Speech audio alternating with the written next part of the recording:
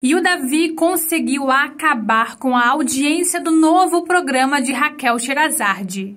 Na verdade, o Davi foi visto ali como um salvador, já que ele é tão falado, tão bem visto aí e tem um grande público aí de seguidores, de fãs dele. Então, né, a Record viu ele como um salvador da audiência, mas acabou decepcionando.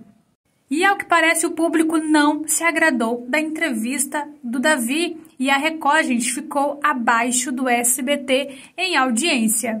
E a pergunta que não quer calar, e que eu faço aí para você também que talvez é seguidor do Davi, cadê os fãs do Davi, que estão sempre nas redes sociais perturbando, azucrinando todo mundo.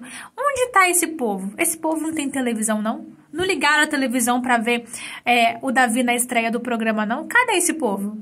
Se a audiência do programa da Raquel, com entrevistando o Davi, foi tão vergonhosa como foi, é sinal que até os próprios fãs do Davi não querem mais saber dele. Agora, a gente sabe que o que pegou foi o Davi ter acabado vazando algo que ia ser ia sair de forma exclusiva no programa da Raquel, que foi o fato dele ter desistido do curso de medicina.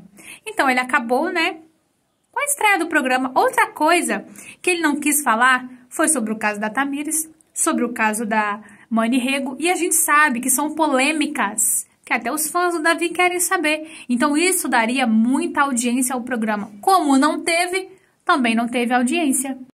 Deixa aqui a sua opinião e me fala se você concorda com isso.